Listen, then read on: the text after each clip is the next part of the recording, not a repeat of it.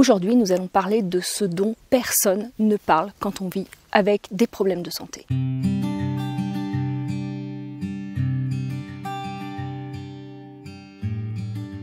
Bonjour à tous, je suis ravie de vous retrouver pour une nouvelle vidéo. Aujourd'hui c'est une vidéo un petit peu spécifique parce qu'on va parler de ce dont personne ne parle quand on vit avec une maladie chronique, quand on vit avec des soucis de santé au quotidien. Parce que oui, vivre avec des problèmes de santé, c'est vivre avec des symptômes qui peuvent être plus ou moins handicapants, plus ou moins invalidants au quotidien. Mais ce dont on parle peu, voire pas du tout, c'est tout ce qu'il y a à côté. C'est tout ce que la maladie transforme. Et j'ai donc voulu vous faire une vidéo pour vous partager finalement euh, ce qu'est l'expérience intime d'une personne qui vit avec une maladie chronique. Et l'objectif de cette vidéo, c'est vraiment de pouvoir vous dire, eh bien, si vous ressentez ça, vous n'êtes pas seul et c'est normal. Alors j'ai ciblé cinq choses il y en a beaucoup plus, mais j'ai ciblé cinq choses dont je trouve que personne ne parle jamais et qui pourtant constituent le quotidien d'une personne qui doit faire face à des soucis de santé chronique. Et on va parler de tout ça dans cette vidéo. Si vous ne me connaissez pas, je me présente, je m'appelle Aurore, je suis psychologue et dans cette chaîne Glyfactory, je vous propose tout un tas de ressources pour pouvoir vous aider, vous accompagner si vous vivez avec des problèmes de santé et pour pouvoir mieux faire face aux difficultés que vous rencontrez. Donc rentrons dans le vif du sujet. La première chose que j'avais envie de partager avec vous et que j'avais vraiment envie de poser là dans cette vidéo parce que je trouve qu'on en parle tellement peu, tellement mal que euh, du coup j'avais envie de vous dire que si vous vous ressentez des difficultés émotionnelles, psychiques, aujourd'hui, ce n'est pas forcément parce que vous êtes en dépression, ce n'est pas forcément parce que vous avez des troubles anxieux, ce n'est pas forcément ce que je veux dire une pathologie mentale, même si ça peut être... Euh, vous pouvez également vivre une dépression ou vivre des troubles anxieux euh, en parallèle des problèmes somatiques que vous vivez, mais ce que je veux dire, c'est que la maladie n'impacte pas que le physique, elle impacte qui on est, elle impacte tout notre être, elle impacte nos émotions, elle impacte notre psychisme, et ça je trouve qu'on en parle tellement peu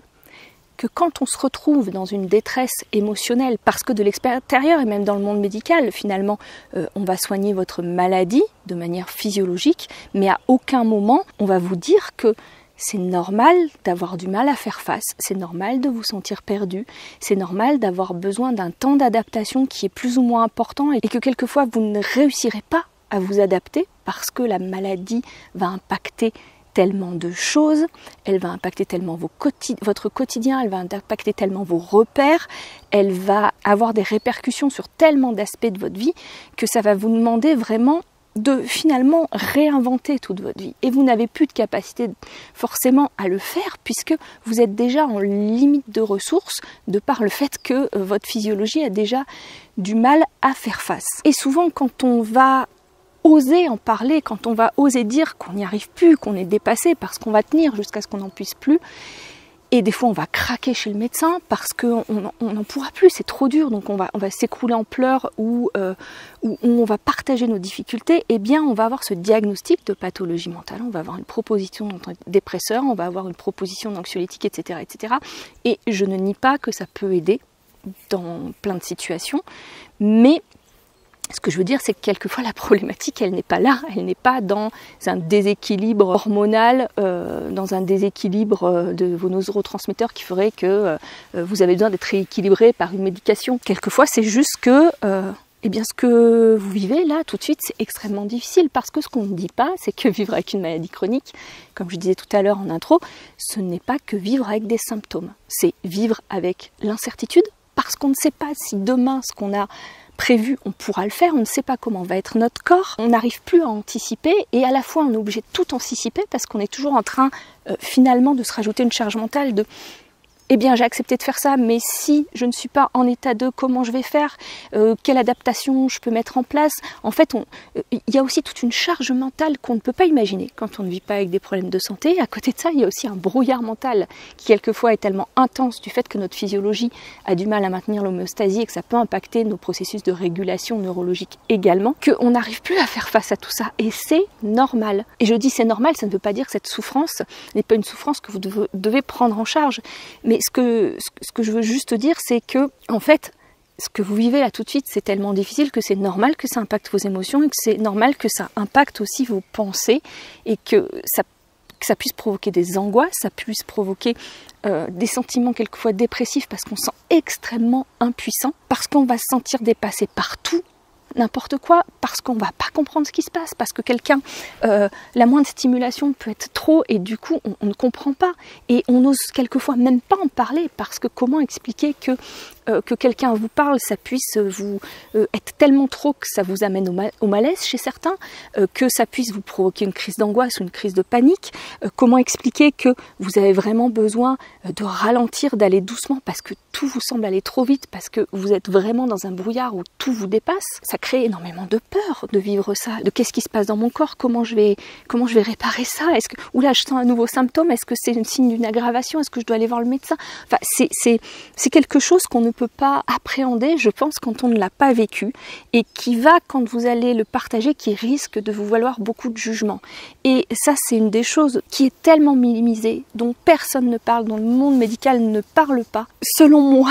quand on vit avec des problèmes de santé, quand on annonce une maladie chronique, je pense que tous les médecins devraient conseiller aux personnes d'aller se faire accompagner parce que cette transition, elle est difficile. Cette transition d'une vie où on avait toutes les possibilités, toutes les capacités à une vie où on est limité et on doit s'adapter, on doit se réinventer alors qu'on n'a plus les ressources, eh bien c'est bien de se faire accompagner pour se faire aider pour ça. Et ça ne veut pas dire qu'on a une dépression, ça ne veut pas dire qu'on a des problèmes euh, euh, émotionnels, euh, ça veut juste dire que la régulation émotionnelle, elle est impactée par les difficultés que vous avez de régulation physiologique et que c'est normal. Et, j'aimerais tellement qu'on normalise tout ça, mais je vois très très peu de personnes en parler et euh, j'ai l'impression que le monde médical ne prend pas la juste mesure de comment euh, le physique impacte le psychisme et le psychisme impacte le physique. Et puis sans parler de ça, ça va impacter aussi au rapport aux autres parce que, euh, euh eh bien, on, on peut plus fonctionner comme avant, ça va impacter nos relations. Euh, quelquefois, on va, on va faire face à beaucoup de jugements et, c'est bien d'avoir quelqu'un, d'avoir un accompagnement pour nous dire, ok, ce que vous ressentez, c'est normal. Et moi, je vous le dis, ce que vous ressentez, c'est normal. Si ça provoque de la souffrance en vous, une souffrance trop importante à tel point que, que vous n'arrivez plus à faire face, ne restez pas comme ça. Vos sentiments, là, vos émotions, elles sont légitimes. Et vous avez le droit, et vous avez même le devoir, je dirais, d'aller prendre soin de vous et d'aller vous faire aider. Et ça ne veut pas dire que votre pathologie, elle n'est pas somatique, et ça ne veut pas dire que vous êtes faible, et ça ne veut pas dire que vous n'arrivez pas à faire face ça veut juste dire que ces ajustements ils sont difficiles et que euh, on ne trouve pas toujours le soutien dans son entourage ou dans le monde médical et que d'avoir quelqu'un d'extérieur pour pouvoir poser les choses, déposer les choses et aussi comprendre ce qui est en train de se passer en soi et pouvoir voir comment on peut fonctionner différemment, ça peut être extrêmement aidant. Donc ne minimisez pas cet aspect. Deuxième chose, et ça revient au fait qu'il est très important de se faire aider, c'est que euh, quelquefois ce qui est extrêmement difficile, c'est que votre situation, pour les autres, elle est devenue presque la norme. C'est-à-dire que quand on a une maladie, on va dire aiguë, quand on est malade, euh, voilà, je, ne sais pas quel type de pathologie on peut avoir, mais une, pathologie en tout cas qui se soigne, eh bien les gens, euh, et qui se soignent rapidement, voilà, en général les gens vont prendre des nouvelles, vont être aux petits soins pour vous, vont vous proposer de l'aide, etc., etc. Mais quand cette pathologie, elle s'ancre dans le temps, quand ça fait des mois, quand ça fait des années, etc., eh bien là, souvent, malheureusement, pour les gens, et c'est pas contre vous, mais pour les gens, ça devient la norme que vous soyez malade. Et du coup, eh bien, ils vont même plus demander comment vous allez, ou ils vont même plus se dire que peut-être vous avez besoin d'aide. Ils vont même plus euh, euh, prendre en compte votre situation parce que pour eux c'est normal, parce que pour eux c'est euh, comment dire, c'est pas, je veux pas dire que c'est normal, je, je me suis mal exprimée, mais c'est c'est devenu votre quotidien à vous et euh, c'est devenu le repère, voilà c'est rentré dans le repère, c'est rentré dans une habitude, vous êtes malade, c'est comme ça, et vous vous adaptez à ça. Sauf que vous derrière,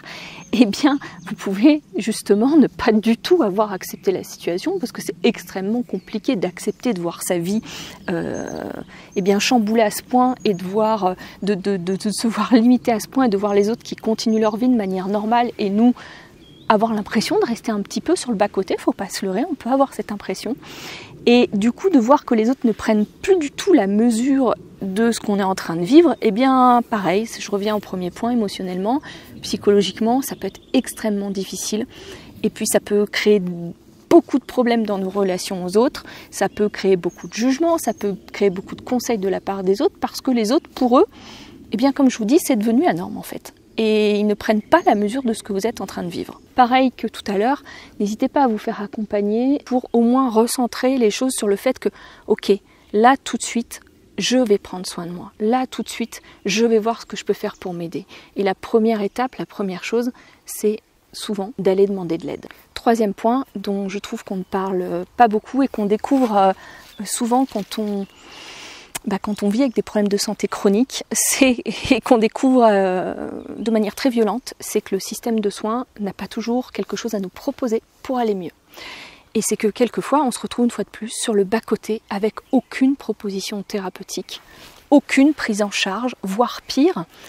des propositions thérapeutiques ou des prises en charge qui peuvent soit nous aggraver, soit être extrêmement traumatiques parce que ce qu'on va nous proposer va créer des effets secondaires ou va nécessiter des soins ou des examens qui peuvent être douloureux et du coup on peut ne plus du tout avoir confiance au système de soins. Et quelquefois, de l'extérieur, on va nous dire Ah, tu as essayé ça, tu as essayé ça, tu as essayé ça. Oui, mais au bout d'un moment, en fait, on a tellement essayé plein de choses, on a tellement mis notre confiance dans plein de choses, et à chaque fois, on s'est tellement quelquefois retrouvé sans aide ou démuni ou jugé ou quelquefois même s'être aggravé que euh, eh bien nous n'avons plus confiance dans le système de soins. Et ça aussi ça peut être extrêmement déstabilisant de se dire mais je suis dans une situation catastrophique, on minimise ce que vous êtes en train de vivre, on minimise les symptômes. Quand vous expliquez vos symptômes, on vous dit que c'est pas possible, que en regardant vos analyses, en fait, on va plus se baser sur vos analyses que votre ressenti. Alors que votre ressenti est pour moi aussi important que ce qui ressort dans vos analyses. Et surtout, si vos analyses ne recherchent pas la bonne chose, et eh bien forcément, euh, euh, on peut vous dire que vous n'avez rien, alors que en fait, vous allez juste passer euh, des années d'errance médicale avant d'avoir un diagnostic. Alors attention, là, mon objectif, c'est pas du tout de blâmer les médecins parce qu'on est dans un contexte vraiment spécifique où je pense qu'aussi bien qu'en tant que patiente qu'en tant que médecin, la situation est extrêmement compliquée et chacun fait comme il peut. Mais ce que je veux dire, c'est vraiment prenez soin de vous. C'est extrêmement difficile de se retrouver dans ces situations d'errance médicale. Et même quand on a un diagnostic, quelquefois, il n'y a pas de proposition thérapeutique. Et ça peut être très difficile. Et pour continuer à s'accrocher, pour continuer à essayer de, de, trouver ce qui nous fait du bien, parce qu'il y a des choses qui vont vous soulager, il y a des choses qui vont vous aider, mais quelquefois, on met du temps à les trouver. Et eh bien, en attendant, vraiment, prenez soin de votre santé mentale, parce que ce parcours a un impact vraiment extrêmement important sur la santé mentale. Quatrième chose dont on ne parle jamais ou dont on parle très peu euh, et dont l'entourage n'a pas du tout conscience, c'est le fait que le corps, son propre corps, qui est censé être le lieu euh, bah, notre lieu de sécurité finalement, puisque on l'emmène partout et c'est lui qui nous permet de faire des choses et c'est lui qui nous permet de vivre, et eh bien devient finalement notre lieu d'insécurité. Que ça devient vraiment l'endroit qui nous empêche de vivre, qui nous empêche d'être bien et imaginer. Alors là, je vais reprendre, euh, tenez, je vous la mettrai là si vous l'avez pas vu la vidéo avec euh, Eva Ellinger, qui est une psychologue. Euh, on a fait une vidéo ensemble, qui est une psychologue qui pratique la somatic experiencing et qui a eu un super exemple. Donc je vais lui emprunter, qui disait que vivre avec une maladie chronique, c'est comme si on vivait avec euh, euh, finalement euh, une menace en soi. C'est comme si on avait un tigre à l'intérieur de nous qui était prêt à nous manger à tout moment. Et du coup, qu'est-ce qu'on fait par rapport à ça? Eh bien, on va devenir hyper vigilant à, ce qui se passe dans notre corps et on ne le fait pas exprès. Notre cerveau, il va devenir hyper vigilant aux symptômes, à la douleur, à tout ce qui est en train de se passer parce que notre corps devient un lieu de menace au lieu d'être un lieu de sécurité. Notre corps devient ce qui nous empêche au lieu d'être ce qui nous aide. Et du coup, de l'extérieur, les gens ne le perçoivent pas du tout. Euh, peut-être vous avez eu des conseils de vous dire de vous détendre, de ne pas y penser, ou je ne sais pas quel type de conseils on a pu vous donner, mais clairement,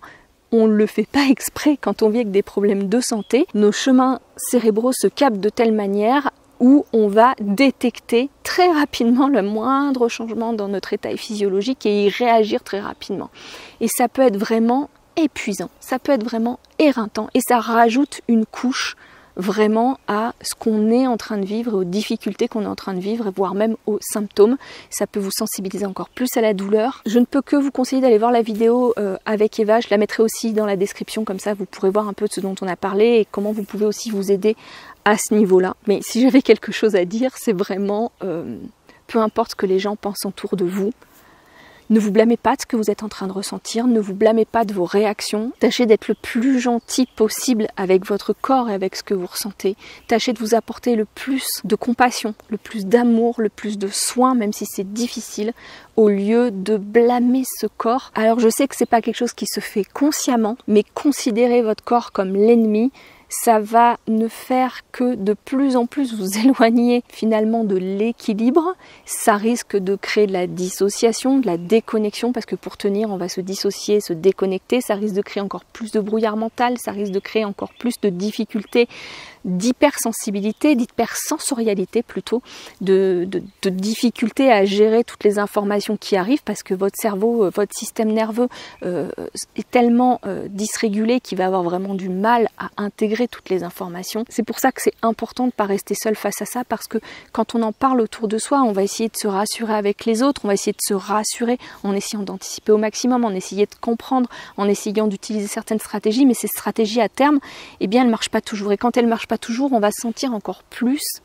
démuni, encore plus déstabilisé, encore plus impacté émotionnellement et psychologiquement. Et face à ça, l'entourage, malheureusement, souvent ne comprend pas et ne peut pas comprendre parce qu'ils ne le vivent pas, parce que ça paraît fou de se dire que notre corps devient à ce point un lieu d'insécurité et ce lieu d'insécurité on l'emmène partout avec nous donc c'est extrêmement difficile au quotidien même quand on passe un moment agréable avec nos proches, et eh bien ça peut arriver n'importe quand et on peut se sentir dépassé, on peut se sentir mal alors qu'on était dans un moment agréable parce que vraiment le système nerveux a du mal à réguler euh, tout ce qui est en train de se passer en nous. Dernière chose, cinquième chose,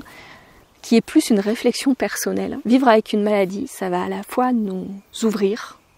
et nous fermer. Comme je l'expliquais tout à l'heure, en fait, ça va vraiment nous renfermer sur notre monde intérieur. Parce qu'il y a tellement de choses qui vont arriver, qui vont être difficiles, que ce soit les symptômes, que ce soit les émotions, que ce soit le brouillard, etc., que on a quelquefois l'impression d'être un peu enfermé comme ça dans une espèce de bulle, et même pire qu'une bulle, d'être, vous savez, comme une espèce de... Moi j'ai cette vision de, de cellophane qui nous contraint comme ça, où on peut plus respirer, on peut plus rien faire. Parce que ça, voilà, ça prend tout l'espace. Si on reprend cette bulle, et ben non, cette bulle, il n'y a, y a, y a, y a que ça ça nous coupe. On n'arrive plus à voir ce qu'il y a dans le monde extérieur. On n'arrive plus à connecter à ce qu'on aimait avant. On n'arrive plus euh, quelquefois à apprécier ce qu'on appréciait avant. On n'arrive plus à, finalement trouver de sens à, la vie qu'on avait avant parce que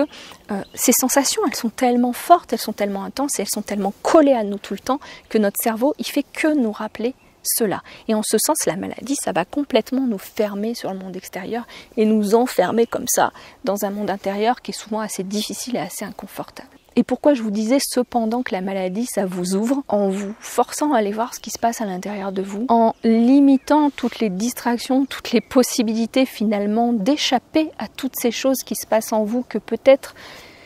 depuis des années, vous combliez d'une façon ou d'une autre, en travaillant beaucoup, en sortant beaucoup, en regardant euh, les réseaux à longueur de journée, en, je, sais pas, en faisant du sport, etc. À un moment donné, quand on est tellement limité qu'on n'a même plus nos stratégies de, dire, de compensation ou d'apaisement de ce qui nous apaisait avant, quand elles ne sont plus accessibles, eh bien, on se retrouve seul avec soi-même. Et c'est extrêmement difficile, c'est extrêmement inconfortable, mais euh, ça nous permet aussi de comprendre comment on s'est construit, ça nous permet de voir ce qui est en train de se passer en nous. Et quelquefois, ça nous permet en un sens de nous ouvrir, de nous ouvrir sur ce qui est important pour nous, sur ce qui compte vraiment pour nous. Et quand d'un coup, parce que c'est entre guillemets une bonne journée, c'est une journée où vous avez moins de symptômes, c'est une journée où votre système nerveux euh, va être mieux régulé et du coup ça va vous ouvrir un champ de possible, et eh bien à ce moment-là, la vie vous ne la voyez plus du tout de la même manière. C'est-à-dire que quand vous avez été tellement contraint, tellement piégé à l'intérieur de vous-même et que d'un coup, il y a quelque chose qui s'ouvre comme ça et que de nouveau, vous pouvez vous lever, de nouveau, vous pouvez faire des choses, de nouveau, vous avez la tête euh, qui n'a plus ce brouillard mental, de nouveau, vous arrivez à avoir des pensées qui sont plus positives, des émotions qui sont plus positives, et eh bien c'est là où d'un coup, vous vous reconnectez à vous-même, vous vous reconnectez à ce qui a du sens, vous vous reconnectez à ce qui est important pour vous. Vous pouvez même avoir de la gratitude pour des choses, mais que vous ne voyez même pas avant, parce qu'avant, c'est normal de vous lever, de prendre votre déjeuner, d'aller euh, d'aller travailler, d'aller voir des amis, de, de courir dans tous les sens. Et là, d'un coup, quand de nouveau vous pouvez aller marcher, quand de nouveau vous pouvez aller dans la nature, quand de nouveau vous pouvez prendre un temps en famille, prendre un temps de jeu en famille sans être perturbé par euh, les symptômes. Franchement, la vie a vraiment une autre saveur et vous vous rendez compte de l'importance de toutes ces petites choses qu'on ne voyait pas avant. La vie a vraiment une autre saveur et vous voyez toutes ces petites choses que les gens ne voient plus. Et vous avez de la gratitude pour toutes ces petites choses que les gens ne perçoivent même pas. Et peut-être que vous n'en êtes pas là. Peut-être qu'aujourd'hui vous êtes vraiment dans cette protection, dans, dans ce euh, j'en peux plus, c'est inconfortable, je souffre, je ne peux plus rien faire. Et, et vous dites mais Aurore, de quoi tu me parles euh, En quoi ça peut m'ouvrir? Mais petit à petit,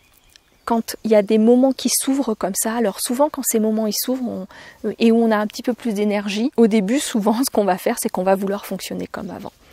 On va vouloir faire toutes les tâches qu'on n'avait pas le temps de faire, on va vouloir euh, faire comme avant, tenir notre maison, aller faire les courses, montrer qu'on peut faire comme avant, qu'on peut prendre soin de la maison, qu'on peut prendre soin de la famille, qu'on peut prendre soin des enfants, qu'on peut euh, peut-être travailler, etc., etc. Mais vraiment, si vous pouvez vous permettre de voir comment vous pouvez alléger toutes ces injonctions mentales, et dans ces moments-là, même si c'est pas longtemps, même si c'est euh, dix 10 minutes, un quart d'heure, une demi-heure, de prendre un moment de pause, de prendre un moment pour vraiment respirer là-dedans et pour avoir de, de la gratitude, même si c'est compliqué hein, dans un premier temps, mais en tout cas pour prendre un moment pour, euh, pour respirer et apprécier ça. Même si on est d'accord, l'idée c'est pas d'avoir de la gratitude et de se dire ah, j'ai de la gratitude pour ça, ça, ça, et que ce soit complètement faux. Mais si à un moment donné vous sentez que ça s'apaise en vous, que votre système nerveux semble être mieux régulé, à ce moment-là de prendre un temps de présence et prendre un temps juste pour observer ce qui est en train de se passer en vous, pour sentir comment comment ça se détend en vous et pour avoir de la gratitude pour bah, qu'est-ce qui est important pour moi, qu'est-ce qui compte pour moi et si vous pouvez vous le permettre, vous donner 10 minutes, un quart d'heure pour aller vers ce qui compte pour vous et pour prendre le temps pour ça, même si c'est au détriment de quelque chose euh, où euh, vous avez des injonctions mentales assez fortes qui vous disent qu'il faudrait faire ci, qu'il faudrait faire ça. Et c'est là qu'un accompagnement psychologique peut aider justement à revoir quelles sont mes valeurs, qu'est-ce qui est important pour moi, qu'est-ce que je peux laisser de côté, quelles sont les règles que j'avais avant qui aujourd'hui ne sont peut-être plus alignés avec qui je suis, qu'est-ce que je priorise? Parce que la maladie, ça amène à ça, à se dire, bon ben ok, je ne peux plus faire comme avant, je ne peux plus tout faire. Alors qu'est-ce qui est important? Qu'est-ce que je priorise? Qu'est-ce qui compte vraiment pour moi? Et où est-ce que je vais mettre le peu d'énergie que j'ai ce jour-là? Bon voilà, je suis partie sur, euh, sur d'autres choses, sur quelque chose de plus philosophique sur cette 20 vidéo. C'est une vidéo qui n'était absolument pas écrite. Euh, j'avais juste envie de vous dire que si vous ressentez tout ça, si c'est dur pour vous, si vous n'arrivez pas à faire face, si vous, avez l'impression que vraiment vous êtes dans une impasse et que euh, autour de vous, vous ressentez, vous trouvez beaucoup d'incompréhension face à ce que vous vivez, je voulais juste vous dire, vous n'êtes pas seul. Regardez le nombre de gens qui suivent cette chaîne YouTube, vous n'êtes pas seul. Traverser ces étapes-là, c'est normal que ça soit difficile, c'est normal. Mais vous n'êtes pas obligé de rester seul face à ça. Je sais qu'on se dit que un psychologue, un psychothérapeute ne nous apportera rien, ne pourra pas nous aider parce que ce qui nous arrive, c'est vraiment quelque chose de physique et c'est ça, on veut résoudre les symptômes, on veut ne plus ressentir ce qu'on ressent, on veut retrouver de l'énergie, mais quelquefois de pouvoir déjà alléger ce qui est en train de se passer émotionnellement, de pouvoir s'apaiser, de pouvoir s'aider à mieux réguler son système nerveux en se sentant plus en sécurité avec ce qu'on vit, ça peut permettre d'avoir un petit peu plus d'espace et avec cet espace de pouvoir petit à petit récupérer en capacité et mieux vivre avec les difficultés que vous êtes en train de traverser par rapport à la maladie. Voilà, j'espère que ça a pu vous aider. J'espère surtout que vous avez pu vous sentir un petit peu moins seul dans ce que vous viviez. N'hésitez pas à me dire euh, si c'est le cas, en commentaire. En tout cas, je vous embrasse. Je vous dis à très très bientôt. Et comme d'habitude, surtout, surtout, surtout, prenez soin de vous parce que personne ne le fera à votre place.